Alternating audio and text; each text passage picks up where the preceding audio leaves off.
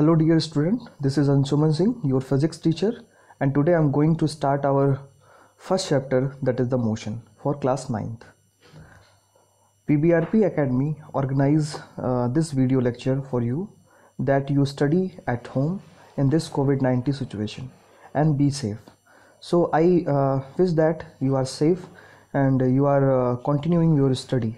So let we let we start. Today we will start Uh, our chapter motion. Before that we are discuss how we approach this chapter. So first of all let me see that i categorize this chapter in the nine part. So in the first part we are going to discuss what is the motion.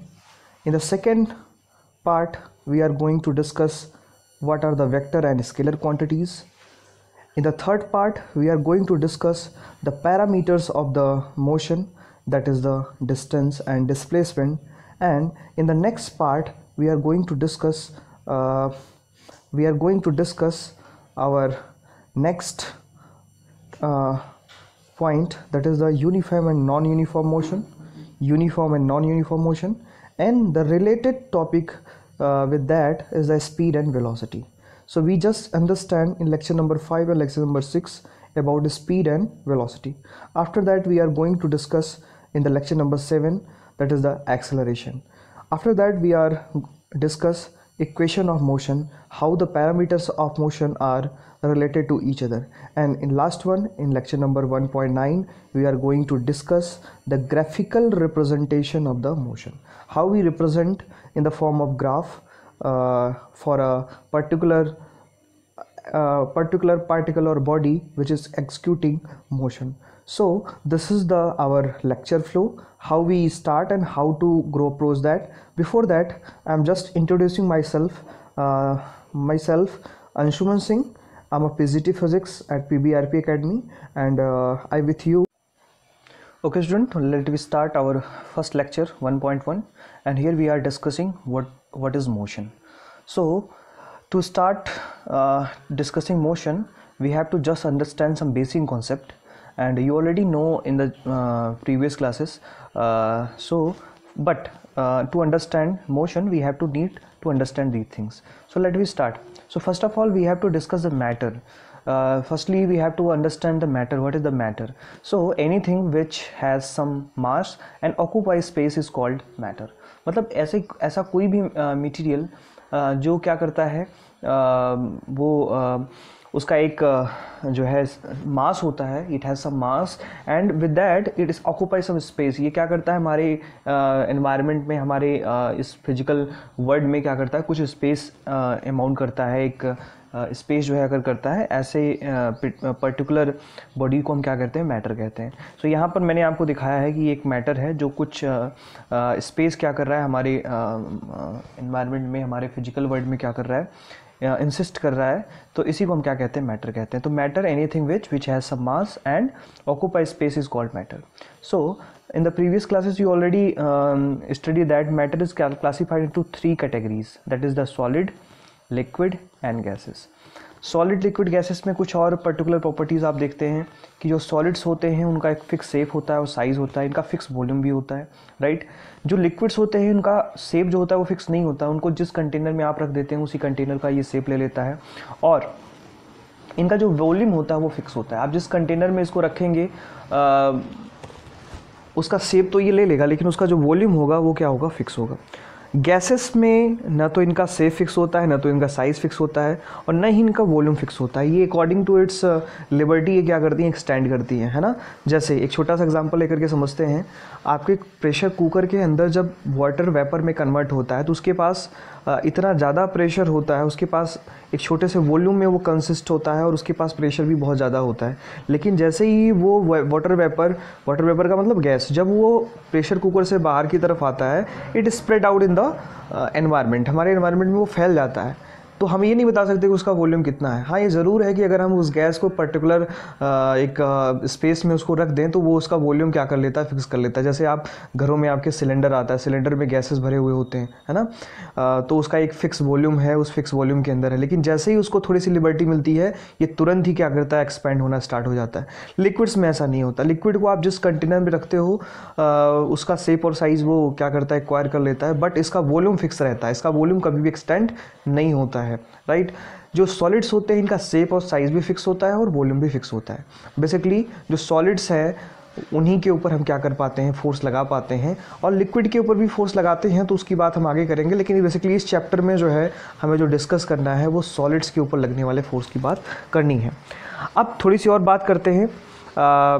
जो ये matter होते हैं, ये छोटे छोटे कॉन्स्टुएंट से मिलके बने हुए होते हैं, जिसे आप पार्टिकल कहते हैं right these are the particles कोई भी एक मैटर uh, का सबसे छोटा जो कॉन्स्टिट्यूंट होता है उसे हम पार्टिकल कहते हैं। The smallest part of the matter is called particle जैसे ये हमारे पास एक मैटर है इसमें दिखाया गया कि छोटे छोटे पार्टिकल से मिलकर बना हुआ है और इस पार्टिकल को अलग से ये दिखाया गया कि एक छोटा सा पार्टिकल है। सो so, कोई भी पार्टिकल जो होता है कोई भी मैटर जो होता है वो बहुत सारे छोटे छोटे पार्टिकल से मिलकर बना हुआ होता है। बाद में इसकी और स्टडी करते हैं कि पार्टिकल के अंदर भी कुछ कॉन्स्टिट्यूंट्स होते हैं जिसे आप इलेक्ट्रॉन प्रोटॉन न्यूट्रॉन कहते हैं। लेकिन अभी यहाँ पर सिर्फ़ हमें ये समझना है कि किसी भी मैटर के कोई भी मैटर जो होता है it is made by very small tiny particles right I hope ये समझ में आ गया होगा। अब अगर ये बहुत सारे पार्टिकल आपस में मिल जाएँ, अगर ये बहुत सारे पार्टिकल आपस में मिल जाएँ, जिससे कि उस जो जो मैटर है उसका एक सेप और साइज़ क्या हो जाता है फिक्स हो जाता है। तो ऐसी सिचुएशन उसे हम क्या कहते हैं? बॉडी कहते हैं। So a system of particle मतलब एक से ज़्यादा पार्टिकल आपस में जुड़ करके एक बॉडी का निर्माण करते हैं। So this is the body in which there are large amount of the particles are me start uh, let me discuss some uh, uh, concept about fluids uh, some about liquid and gases. तो ऐसे matter ऐसे matter के state जो flow कर सकते हैं। Easily flow कर सकते हैं। उसको जब आप ग्राउंड पे रखते हैं तो वो जिधर की तरफ़ उसको एनर्जी मिलेगी, उधर की तरफ़ ही वो फ्लो होने लगेगा। लेकिन सॉलिड्स में ऐसा नहीं होता है। सॉलिड को जहाँ पे आप रख दोगे, उसका सेप और साइज़ फिक्स रहेगा। लेकिन हमारे पास जो लिक्विड और गैसेस होते हैं, उनको जैसे ही आप इन्वायरमेंट में रखते हैं स्पेस में रखते हैं, वो तुरंत एक्सटेंड करना स्टार्ट कर देते हैं। राइट वो फैलना स्टार्ट कर देते हैं। लिक्विड का वॉल्यूम तो फिक्स होता है, लेकिन जैसे ही उसको आप मान लीजिए उसको ग्राउंड पर आप रख रहे हैं, तुरंत वो क्या होगा? फैलना स्टार्ट हो जाएगा। गैसेस के साथ भी ऐसा होता है। जैसे उसे आप थोड़ा सा स्पेस मिलता है, वो एक्सपेंड होना स्टार्ट हो जाता है राइट तो ये चीज़ आपको समझनी है कि फ्लूड्स जो होते हैं बेसिकली लिक्विड और गैसेस को हम फ्लूड कह सकते हैं, जो आसानी से फ्लो कर सकते हैं राइट इसके बारे में क्लास इलेवेंथ में और भी डिटेल में आप पढ़ने वाले हैं। फ़िलहाल आपके लिए इतना पता होना ज़रूरी है कि ऐसे मटेरियल्स जो आसानी से फ्लो कर सकते हैं, उसे हम क्या कहते हैं? फ्लूड्स कहते हैं। तो आपकी गैसेस और लिक्विड जो होते हैं, ये फ्लूड की कैटेगरी में आते हैं। जब भी हम फ्लूड की बात करते हैं तो हम गैसेज और लिक्विड की बात करते हैं, ओके? अब थोड़ा सा और आगे चलते हैं मोशन को समझने के लिए, और क्या चीज़ हमें पढ़नी होती है? तो हमें एक इसमें इंपॉर्टेंट पैरामीटर पढ़ना पड़ता है दिस इज़ अ टाइम अब आप कहोगे टाइम का क्या इंपॉर्टेंस है यहाँ पे? तो टाइम का बेटा इंपॉर्टेंस है यहाँ पे राइट तो टाइम जो है एक फंडामेंटल क्वांटिटी है। टाइम जो है क्या है? एक fundamental quantity it is a fundamental quantity fundamental quantities का मतलब होता है कि ऐसी क्वांटिटीज़ जो हमारे लिए बहुत ही ज़्यादा नेसेसरी हैं, ज़रूरी हैं, और हम उसे जो है, अपने लाइफ में उसको बार बार यूज़ करते हैं। मोर फंडामेंटल है हमारे लाइफ में राइट तो टाइम एक फंडामेंटल क्वांटिटी है और इसके ऊपर हमारा कोई कंट्रोल नहीं है right it we can not control the time it is always extending हमेशा वो क्या करेगा? बढ़ता जाएगा। हमेशा वो अपने टाइम को आगे बढ़ाता जाएगा राइट एंड इसी वजह से इसको हम कहते हैं इंडिपेंडेंट क्वांटिटी ये क्या होती है? इंडिपेंडेंट क्वांटिटी होती है। ये हमेशा क्या होती है? बढ़ती रहती है इंडिपेंडेंट रहती है राइट एंड इस यूनिट इज़ सेकेंड तो इसकी जो बहुत बेसिक यूनिट है it is a basic unit जो इसकी है इट इज़ द सेकेंड तो हम टाइम को किसमें मेज़र करते हैं? सेकेंड में मेज़र करते हैं। इस चीज़ को आप बहुत अच्छे से समझते रहिए। And denoted by small T इसको स्मॉल टी से हम क्या करते हैं? रिप्रेजेंट करते हैं। तो आई होप ये टाइम आपको समझ में आ गया होगा। अब थोड़ा सा हम और आगे आते हैं।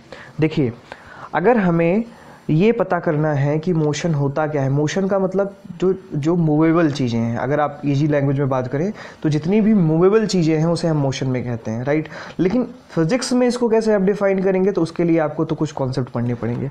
तो उसमें आज हम एक नया कॉन्सेप्ट पढ़ने जा रहे हैं, जो आपके लिए बिल्कुल सा नया है। That is the frame of reference frame of reference अब ये फ्रेम ऑफ़ रेफरेंस का क्या मतलब है? फ्रेम ऑफ़ रेफरेंस का क्या मतलब है? अब ये थोड़ा सा समझना आपके लिए बहुत ज़्यादा ज़रूरी है, क्योंकि अगर ये बात आप समझ गए तो आगे की कहानी आपको बहुत अच्छे से समझ में आ जाएगी। Okay so let we start over discussing frame of reference तो देखिए फ्रेम ऑफ़ रेफरेंस का मतलब होता है कि किस सिचुएशन में आप चीज़ों को मेज़र कर रहे हैं, या कहाँ से आप चीज़ों को मेज़र कर रहे हैं। ठीक है? जैसे मैं अगर आपसे कहूँ कि आपके घर से स्कूल की डिस्टेंस कितनी है तो मैंने आपको एक रेफरेंस पॉइंट दे दिया, मैंने आपको एक इनिशियल पॉइंट दे दिया कि आपके घर से स्कूल की डिस्टेंस लेकिन अगर मैं आपसे ये पूछूँ कि आपकी स्कूल की डिस्टेंस क्या है? तो आप कहोगे, कहाँ से आप पूछ रहे हैं? तो किसी भी चीज़ को मेज़र करने के लिए आपको एक इनिशियल पॉइंट बताना पड़ेगा, जहाँ से आप उसको मेज़र करेंगे. मेरी बात समझ पा रहे हैं आप? Right so this is known as the reference point क्या कहते हैं इसे हम? रेफरेंस पॉइंट कहते हैं. क्योंकि फिज़िक्स में मैथ का यूज़ हम करते हैं और मैथ में आपने अपने कोऑर्डिनेट मैथमेटिक्स में आपने कोऑर्डिनेट सिस्टम पढ़ा होगा एक्स एक्सिस वाई एक्सिस फिर उनके बीच में आप ग्राफ बनाते थे। तो फिज़िक्स में भी इसका एक इंपॉर्टेंस है। तो अगर एक्स एक्सिस और वाई एक्सिस ये दो एक्सिसेस हैं, इसके लॉन्ग हम मोशन को ऑब्ज़र्व कर सकते हैं। इसी तरीके से ये हमारे पास जो है, तीन एक्सिस में X axis Y axis Z axis three dimension में राइट थ्री डायमेंशन में होगा। ये है टू डायमेंशन में एक्स और वाई के लॉन्ग अगर मेज़र कर रहे हैं। इसी तरीके से अगर हमें आ, किसी पर्टिकुलर के होल सेप पोजीशन को मेज़र करना है तो हमें तीन कोऑर्डिनेट चाहिए एक्स वाई और जेड। तो फ्रेम ऑफ़ रेफरेंस को डिफाइन कर लेते हैं। अ system of coordinate axis coordinate का मतलब होता है एक्स वाई जेड। और इसी को अगर हम यक्स और वाई और जेड एक्सिस के लॉन्ग डिस्ट्रीब्यूट कर देते हैं तो ये हमारा पूरा जो सिस्टम बना, इसे हम फ्रेम ऑफ़ रेफरेंस कहते हैं। और इस फ्रेम ऑफ़ रेफरेंस का जो ओरिजिन पॉइंट है, इसको हम ओरिजिन कहते हैं और इसी को हम रेफरेंस पॉइंट भी कहते हैं। तो जो भी किसी भी पार्टिकल की लोकेशन ली जाएगी या पार्टिकल को मेज़र करना हमें होगा तो हम ओरिजिन से उसकी डिस्टेंस क्या करेंगे? मेज़र करेंगे राइट तो आई होप ये बात आपके समझ में आ रही होगी क्लियर हो रहा होगा। फ्रेम ऑफ़ रेफरेंस का मतलब क्या हुआ? हमें क्यों फ्रेम ऑफ़ रेफरेंस की ज़रूरत है है ना? बात समझ में आ रही है? एक छोटा सा और मैं एग्जांपल देकर के आपको समझाता हूँ। आप बस के अंदर बैठे हुए हैं, जब बस के बस चल रही है मूवेबल है, बस के अंदर आप बैठे हुए हैं और बाहर की चीज़ों को ऑब्ज़र्व कर रहे हैं। तो जैसे आपको लगता है कि आप तो स्टैटिक कंडीशन में हो, लेकिन बाहर की चीज़ें क्या हैं? मोशन में है। लेकिन क्या ये बाहर वाली चीज़ें, क्या बाहर के जो पेड़ पौधे हैं, वो मोशन में है? एक्चुअल में ऐसा नहीं है राइट और मान लीजिए बाहर एक व्यक्ति खड़ा है और वो बस को देख रहा है तो उस व्यक्ति के कंपैरिजन में जो बस है, वो मोशन में है। लेकिन अगर आप बस के अंदर हैं और उस व्यक्ति को देख रहे हैं तो वो व्यक्ति आपके कंपैरिजन में मोशन में होगा। तो आई होप अभी ये बात समझ में आ रही होगी कि अलग अलग फ्रेम ऑफ़ रेफरेंस से अलग अलग रेफरेंस पॉइंट से अगर किसी भी बॉडी की या किसी भी पर्टिकुलर पार्टिकल की पोजीशन को मेज़र किया जाए, उसकी लोकेशन को मेज़र किया जाए तो अलग अलग वैल्यू हमें मिलती है। समझ में आ रही बात? जैसे मैं आपसे कहूँ कि आपके घर से स्कूल की डिस्टेंस कितनी है? तो आप कहोगे, सर फोर किलोमीटर. अब मैं आपसे कहूँ कि आपकी स्कूल से आपके जो है, आपके आपके घर से जो है, आपके किसी रिलेटिव मान लीजिए कोई रिलेटिव ए है, उसके घर की डिस्टेंस क्या है? तो आपके घर से उस रिलेटिव की डिस्टेंस और आपके घर से स्कूल की डिस्टेंस क्या बराबर होगी? बिल्कुल नहीं होगी। तो एक बात आपको समझ लेना है कि अलग अलग फ्रेम ऑफ़ रेफरेंस से अलग अलग पार्टिकल की लोकेशन अलग अलग हो सकती है। इसीलिए ये बहुत ज़रूरी है कि हम एक पॉइंट चूज़ करें जहाँ से हमें वैल्यू को मेज़र करना है। आई होप क्लियर हो गया होगा। तो इसके लिए हम मैथमेटिक्स में कोऑर्डिनेट एक्सिस का यूज़ करते हैं एक्स एक्सिस वाई एक्सिस और जेड एक्सिस जो मैंने अभी आपको समझाया राइट आगे चलते हैं। अब इसमें एक बहुत ही बेसिक सी चीज़ है। जो हमें समझनी है दैट इज़ द पोजीशन तो सबसे पहले पोजीशन क्या होती है? किसी भी पार्टिकल का फ्रेम ऑफ़ रेफरेंस में जो एड्रेस होता है, जो लोकेशन होता है राइट या जो ओरिएंटेशन होता है, उसे उस पार्टिकल का लोकेशन कहते हैं। क्या कहते हैं? लोकेशन कहते हैं या पोजीशन कहते हैं राइट तो ये चीज़ आप समझते रहिए किसी भी पार्टिकल की क्या पोजीशन है। जैसे आपकी क्या पोजीशन है? तो आपकी पोजीशन क्या होगी?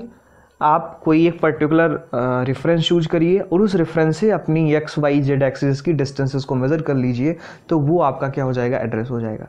आपने कभी सोचा है कि ये जीपीएस कैसे काम करता है? तो जीपीएस इसी पर काम करता है। ग्लोबल पोजीशन लोकेटर ये जो आपका जीपीएस आपके मोबाइल फ़ोन में होता है, वो कैसे आपके लोकेशन को ट्रैक कर लेता है? तो ये आप ट्रैक करके आपको एक कोऑर्डिनेट देता है। आप देखिए उसमें डिग्री में आपको कोऑर्डिनेट दिया रहता है। तो वो क्या है? वो उस पर्टिकुलर पार्टिकल का लोकेशन है, जिसको हम सैटेलाइट की मदद से क्या करते हैं? कैलकुलेट करते हैं। तो उस सैटेलाइट के रेफरेंस से हमारा लोकेशन क्या है? तो ये चीज़ हम मेज़र कर लेते हैं। बात समझ में आ रही है? इसी तरीके से अगर हमें किसी पार्टिकल की, का एड्रेस निकालना है तो हमें एक पॉइंट चूज़ करना पड़ेगा और उस पॉइंट से यक्स से कितनी दूरी पे है वाई से कितनी दूरी पे है और जेड से कितनी दूरी पे है, ये हमें कैलकुलेट करना होता है। अब देखिए, यहाँ पर एक छोटा सा समझाने का प्रयास किया गया कि मान लीजिए ये कोई पार्टिकल है। मान लेते हैं कि ये हमारे पास कोई एक पार्टिकल है पी ये हमारे पास कोई एक पार्टिकल पी है और ये हमने एक ओरिजिन पॉइंट चूज़ कर लिया फ्रेम ऑफ़ रेफरेंस ये हमारे पास फ्रेम ऑफ़ रेफरेंस हो गया और इस फ्रेम ऑफ़ रेफरेंस से देखिए हमने यक्स से डिस्टेंस निकाल ली हमने वाई से डिस्टेंस निकाली, हमने जेड से डिस्टेंस निकाली और ये सभी डिस्टेंसेस हमने ओरिजिन से कैलकुलेट किया राइट तो इस पार्टिकल पी की हमें तीन तीन लोकेशन मिल गई और ये लोकेशन है यक्स वाई जेड तो इस पी पार्टिकल का एड्रेस क्या हो गया? यक्स वाई जेड तो ये यक्स वाई जेड आपका क्या कहलाएगा? Location of the particle P that is the position of the particle okay student I hope आपके समझ में पोजीशन समझ में आ गया होगा। अब आगे थोड़ा सा हम समझ चलते हैं। अब देखिए, किसी भी बॉडी किसी भी बॉडी या पार्टिकल की दो पोजीशन हो सकती है। या तो वो मोशन में हो सकता है, या तो वो रेस्ट में हो सकता है। So each and every body in the universe has to tendency that is the is in motion और इज़ इन रेस्ट कोई भी बॉडी जो है, दो तरीके से एक्टिट्यूट हो सकती है। या तो वो रेस्ट में होगी, या तो मोशन में होगी। कौन होगा? बॉडी होगी, जिसको हमने ऑलरेडी डिफाइन कर रखा है कि बॉडी एक सिस्टम ऑफ़ पार्टिकल है और पार्टिकल क्या होता है? किसी भी मैटर का कॉन्स्टुएंट होता है राइट और किसी भी बॉडी की लोकेशन क्या होती है? किसी भी फ्रेम ऑफ़ रेफरेंस में एक कोऑर्डिनेट एड्रेस होता है। किसी भी फ्रेम ऑफ़ रेफरेंस में अगर हम किसी एक पार्टिकल का एड्रेस कैलकुलेट कर लें तो वो उसका क्या होता है? पोजीशन होता है। इसका तरीका मैंने आपको ऊपर जो है अभी समझाया मैंने आपको। आई होप आपके समझ में भी आया होगा। अब थोड़ा सा आगे चलते हैं। तो रेस्ट और मोशन को समझने के लिए अभी हम इसको रिप्रेजेंट करने की कोशिश करेंगे फ्रेम ऑफ़ रेफरेंस में। तो आप ये देख पा रहे हैं कि ये हमारे पास आ, एक फ्रेम ऑफ़ रेफरेंस है और इस फ्रेम ऑफ़ रेफरेंस में एक्स वाई जेड एक्सिस हैं। ये कोई पार्टिकल पी वन है और पी वन पार्टिकल का जो जो कोऑर्डिनेट्स हैं x y z at time t one पे है। तो ये हमने सबसे पहले मेज़र किया एट ओरिजिन ये हमारे पास ओरिजिन पॉइंट है, इस ओरिजिन पॉइंट से हमने मेज़र किया। और कुछ टाइम टी टू के बाद हम देखते हैं। जब ये T2 टाइम आपका हो जाता है टी टू टाइम के बाद इसको हम मेज़र करते हैं तो हम देखते हैं, ये अपनी लोकेशन को क्या कर देता है? चेंज कर देता है। तो तो ये इस ओरिजिन पॉइंट से हम देखते हैं कि इसका जो लोकेशन है, इस ओरिजिन पॉइंट से इसका लोकेशन दिस ओरिजिन पॉइंट से इसका लोकेशन जो है वो P2 हो जाता है। और इसके पास एक नया पोजीशन आ जाता है x y z at time t two x two y two z two at time t two I hope ये बात समझ में आ रही होगी आपके कि जब पार्टिकल आपका यहाँ पे था तो हमने यक्स वाई और जेड से इसकी डिस्टेंस निकाली तो हमारे पास पोजीशन पी वन आया x one y one z one at time t one time जो है यहाँ पे बहुत इंपॉर्टेंट रोल प्ले कर रहा है। और इसके बाद जब हमने आ, इसके लिए हमने जो है आ, कुछ समय के बाद हमने T2 टाइम पे जब इसके पोजीशन को आइडेंटिफाई किया तो हमें नए कोऑर्डिनेट्स मिल जाते हैं x2, y2, z2 from the point O, ये हमारे पास जो ओरिजिन पॉइंट है, यहाँ से हम जब इसका मेज़रमेंट करते हैं तो हम देखते हैं इसकी location at time t two क्या हो जा रही है चेंज हो जा रही है। तो इस सिचुएशन में हम कहेंगे कि बॉडी क्या है मोशन में है। तो जब भी किसी भी पार्टिकल की पोजिशन टाइम के रिस्पेक्ट में लगातार चेंज हो रही हो तो इस सिचुएशन में हम उस बॉडी को क्या कहते हैं मोशन में कहते हैं। अब उसके कंपेरिजन में ये दूसरा फिगर दूसरा फ्रेम ऑफ़ रेफरेंस आप देखिए। यहाँ पर कोई पार्टिकल पी है, और ये हमारे पास ओरिजिन पॉइंट है। इस ओरिजिन पॉइंट से हम क्या कर रहे हैं, इसकी डिस्टेंस को मेजर कर रहे हैं एक्स वाई जेड तो हमारे पास कोऑर्डिनेट्स आ रहे हैं x y z at time t one और कुछ समय बाद टी टू पर जब हम इसके कोऑर्डिनेट्स को मेजर कर रहे हैं तो हमें सेम कोऑर्डिनेट्स मिल रहे हैं एक्स वाई जेड यहाँ पर भी हमें मिल रहा है।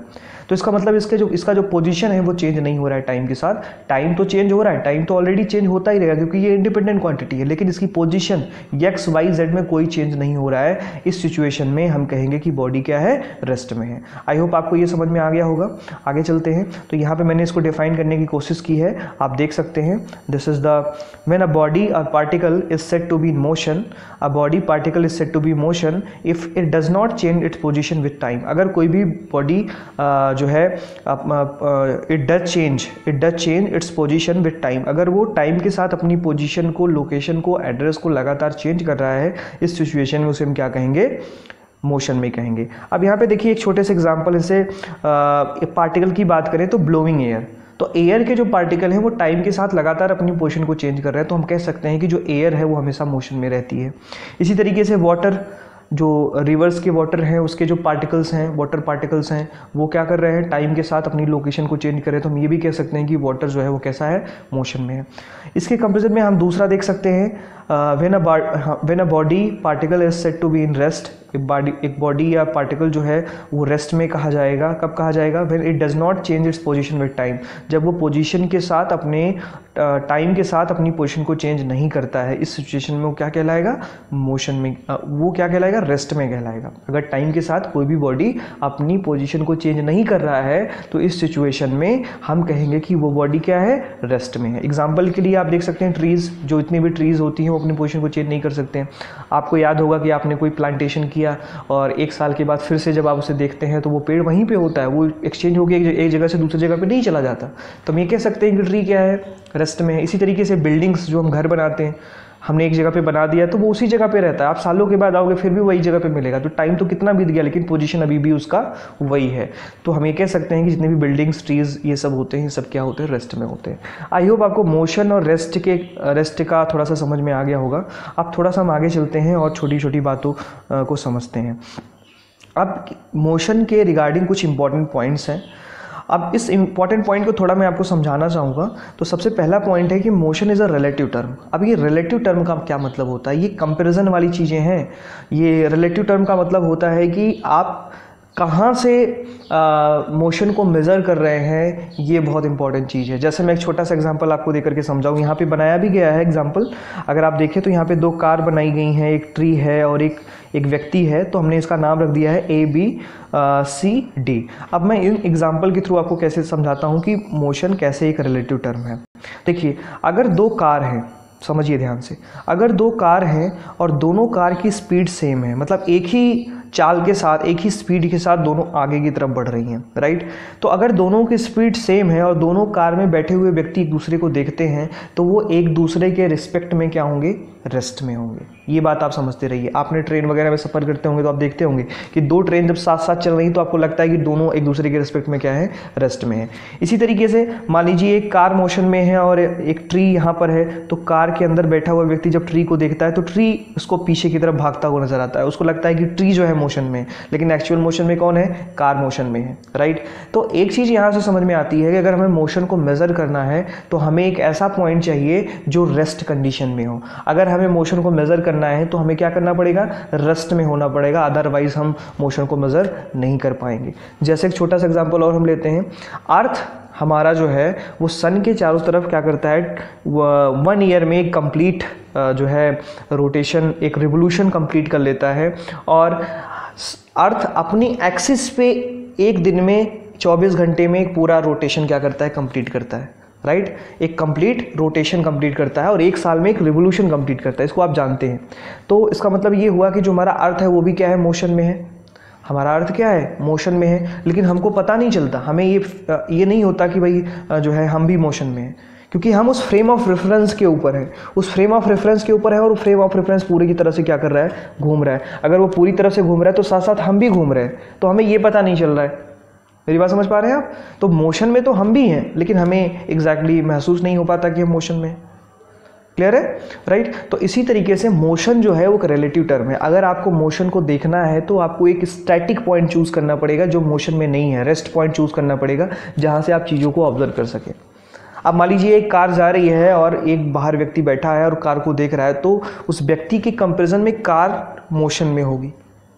मेरी बात समझ पा रहे हैं? लेकिन अगर वो व्यक्ति भी साथ साथ दौड़ने, दौड़, दौड़ने लगे या उसी स्पीड से चलने लगे तो आप तो वो उसके स्पीड को मेज़र नहीं कर सकता या उसके मोशन को नहीं बता सकता। ठीक है? तो ये चीज़ आपको समझनी है कि जो मोशन है, वो एक रिलेटिव टर्म है। वो दो रिलेशन एक रिलेट रिलेटिव टर्म है और एक दूसरे को रिलेट करके ही हम क्या कर सकते हैं, निकाल सकते हैं। तो ज़रूरी ये है कि अगर हमें मोशन को मेज़र करना है तो हम एक फिक्स पॉइंट चूज़ कर लें, जहाँ से हम उस मोशन को क्या करेंगे आइडेंटिफाई करेंगे। राइट अब इसी को थोड़ा सा जो है लिख लेते हैं। To identify the to identify whether body is motion or in rest, we have to consider a first observation point. सबसे पहले हमें एक पॉइंट चूज़ करना पड़ेगा, जो कि रेस्ट कंडीशन में हो and a frame of reference which which origin at observe observation point जिसका ओरिजिन क्या हो? ऑब्जर्वेशन पॉइंट हो। जैसे, अब ये आपके पास एक प्लेन यहाँ पे उड़ रहा है प्लेन आप देख रहे हैं, ये दो पॉइंट है पॉइंट ए और पॉइंट बी अगर आप पॉइंट ए से देखेंगे तो उसकी लोकेशन कुछ और दिखाई देगी, और पॉइंट बी से देखेंगे तो इसकी लोकेशन कुछ और दिखाई देगी। तो इसलिए आपको क्या करना पड़ेगा? एक फिक्स पॉइंट चूज़ करना पड़ेगा। और फिक्स पॉइंट क्या होना चाहिए? जो फ्रेम ऑफ़ रेफरेंस आप चूज़ कर रहे हैं, उसका ओरिजिन उसके ओरिजिन से आप उसका मेज़रमेंट करेंगे। मान लीजिए प्लेन यहाँ पर पी पॉइंट पे है और यहाँ इसके ओरिजिन से आप इसका मेज़रमेंट कर रहे हैं, इसके लोकेशन को आइडेंटिफाई कर रहे हैं, तभी आप इस प्लेन के लोकेशन को आइडेंटिफाई कर सकते हैं। अगर ये फ्रेम ऑफ़ रेफरेंस भी साथ साथ मूव करते चले तो एक दूसरे के रिस्पेक्ट में क्या हो जाएँगे? ये रेस्ट में हो जाएँगे। राइट तो अगर दो चीज़ें आपस में मोशन में हैं तो हम एक दूसरे के लोकेशन को आइडेंटिफाई नहीं कर सकते हैं राइट तो अगर हमें मोशन को आइडेंटिफाई करना है तो सबसे पहले तो हमें एक रेफरेंस पॉइंट चाहिए जो कि रेस्ट में हो। और फिजिक्स की लैंग्वेज में वो रेफरेंस पॉइंट किसी फ्रेम ऑफ़ रेफरेंस के ओरिजिन पे होना चाहिए। और उस ओरिजिन से हम एक्स डिस्टेंस वाई डिस्टेंस और जेड एक्सिस की डिस्टेंस निकाल करके उस पार्टिकल की लोकेशन को आइडेंटिफाई कर सकते हैं राइट तो आई होप ये मोशन और रेस्ट का कॉन्सेप्ट आपके समझ में आ गया होगा।